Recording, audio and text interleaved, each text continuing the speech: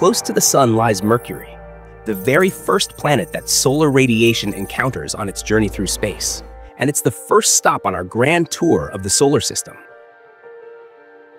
Right now, Mercury is about 205 million kilometers from Earth, roughly 11 light minutes away.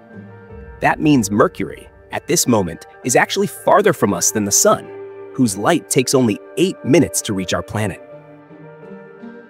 Mercury is currently at one of the farthest points in its orbit from Earth. The universe is so vast that even light, traveling at an incredible speed, takes around 11 minutes to get from Earth to Mercury. Let's head to Mercury.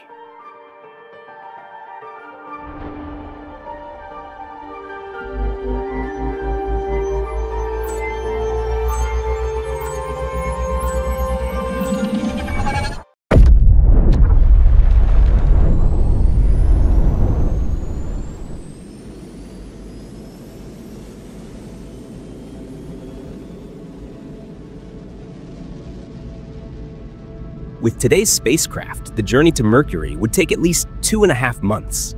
But we're not bound by current technology. We'll travel at many times the speed of light and arrive in just a few seconds.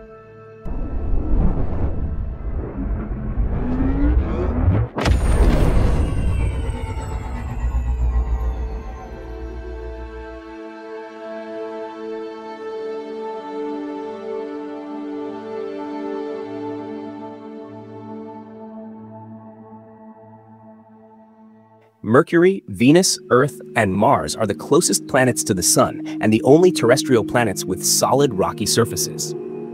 On average, Mercury orbits about 58 million kilometers from the Sun, almost three times closer than Earth. So far, Mercury has been studied by only two planetary probes, Mariner 10, launched in 1973, and Messenger, launched in 2004. Throughout human history, only two missions have visited Mercury, with a third one on the way. BepiColombo, scheduled to arrive in 2025. Among these missions, only Messenger successfully entered orbit around Mercury. The Mariner 10 used Venus to adjust its trajectory and made a few flybys of Mercury before losing control. Today, its remains still orbit the Sun. Mercury is the smallest planet orbiting the Sun, its diameter is 4,880 kilometers, slightly larger than Earth's moon. And it has almost 20 times less mass than Earth. It's even smaller than some of the moons in our solar system. Ganymede, Jupiter's largest moon and the biggest moon in the entire solar system, along with Titan, Saturn's largest moon, both surpass Mercury in size. Yet Mercury is more massive than both.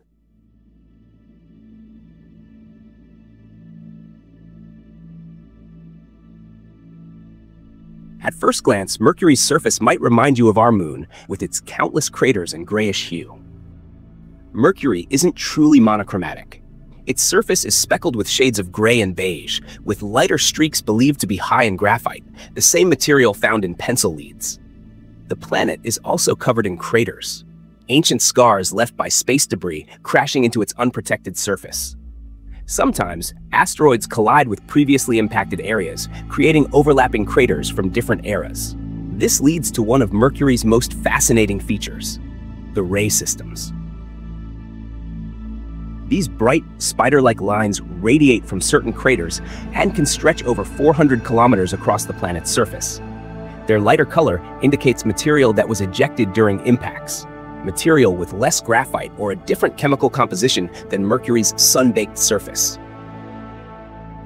Some of these ray systems likely formed from extremely powerful impacts, with rays extending almost entirely around the planet. Mercury's ray systems even outshine those of our moon, which are much smaller in comparison. Mercury is composed of approximately 70% metallic materials and 30% silicates, the minerals that form rocks. Because of this composition, Mercury has the second highest density in the solar system, at 5.4 grams per cubic centimeter. It's second only to Earth, which has a density of 5.5 grams per cubic centimeter. If Mercury were the same size as Earth, its surface gravity would be nearly identical but with its small size, Mercury's surface gravity is just 3.7 meters per second squared. A person weighing 70 kilograms on Earth would feel like they weigh only 25 kilograms on Mercury. Its gravity is slightly weaker than Mars's, despite Mars being a much larger planet. Mercury's massive iron core is actually larger than Earth's core and takes up nearly the entire volume of the planet, leaving only a thin mantle and crust as its outer layers. In essence, Mercury is a metal sphere covered with a thin, rocky shell. This oversized core exists because Mercury was once a larger planet. A colossal collision stripped away much of its outer layers, leaving behind the dense world we see today.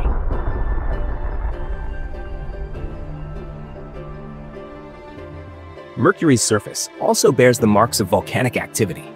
Massive impacts once triggered volcanic eruptions that flooded its craters and basins with lava. The intense gravitational pull of the nearby sun made incoming objects hit Mercury with far more force than the planet's own gravity could produce. This gravitational bombardment, intensified by the sun's proximity, has shaped Mercury's uniquely scarred surface. Mercury's gravity is so weak compared to the sun's that it often fails to capture passing objects into orbit.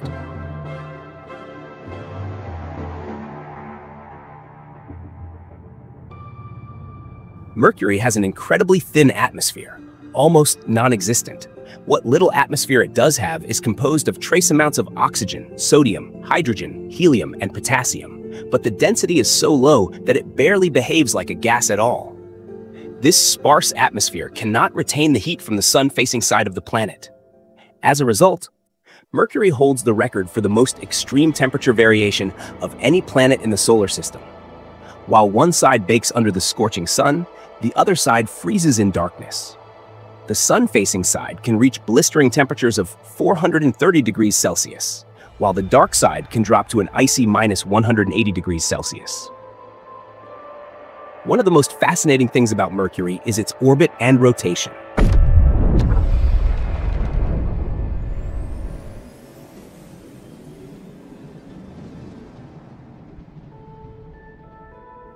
The closer a planet is to the Sun, the faster it orbits.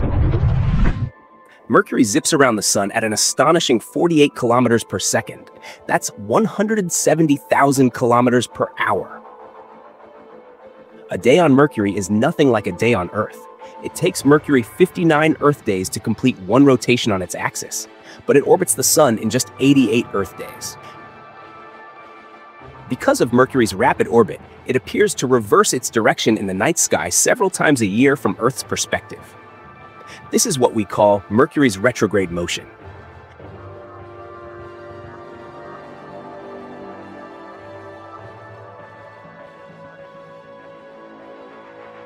Mercury's orbit is constantly shifting. In the early 20th century, astronomers struggled to predict Mercury's exact orbital path. The math just didn't add up. It wasn't until Einstein's theory of general relativity came along that we understood why. Mercury's close proximity to the Sun means that its orbit is affected by the warping of spacetime. As Mercury speeds up near its closest point to the Sun, its position shifts slightly each orbit, creating a path that resembles a delicate, swirling pattern of petals. Mercury has the most eccentric orbit of any planet in the solar system. Its distance from the Sun varies dramatically, from 46 million kilometers at its closest point to 70 million kilometers at its farthest.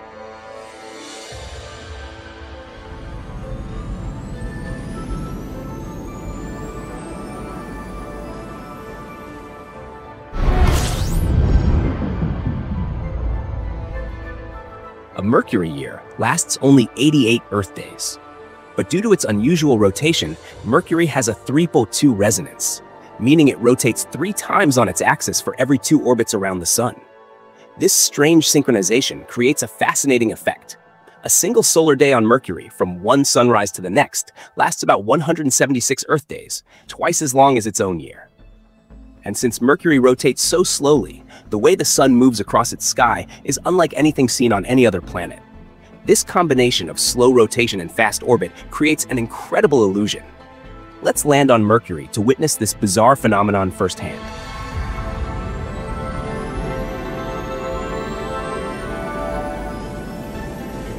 Because of Mercury's weak gravity and rapid orbital speed, it's extremely difficult for spacecraft to enter orbit around it.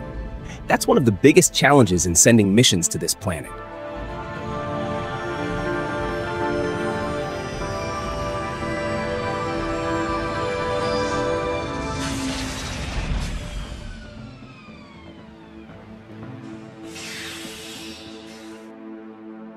Since Mercury is three times closer to the Sun than Earth, our star would appear three times larger in the sky and shine seven times brighter. Let's fast forward time to observe this incredible solar motion. Watch carefully. The Sun rises quickly. Then, near midday, it slows down, stops, moves backward for a bit, and then resumes setting. This entire process takes almost a full Mercury year, meaning that one Mercury night also lasts nearly an entire year. Let's watch it again.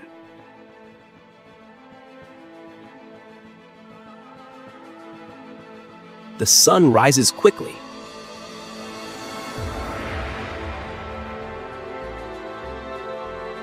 Then, near midday, it slows down, stops, moves backward for a bit,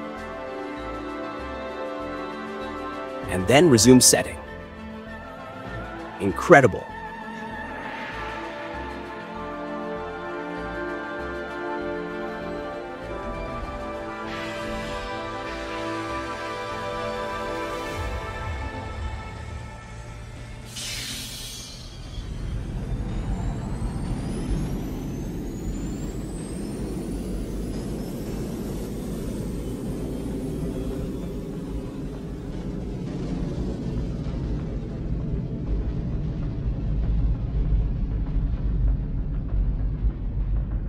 If you enjoyed, don't forget to like and subscribe to not miss the next journeys into space. This is the first of a series about the solar system. We will visit the main planets, the dwarf planets, planetoids, their moons, and main asteroids. In the next one, we will visit the hottest planet in the solar system. Thanks for watching, and see you on the next star trip.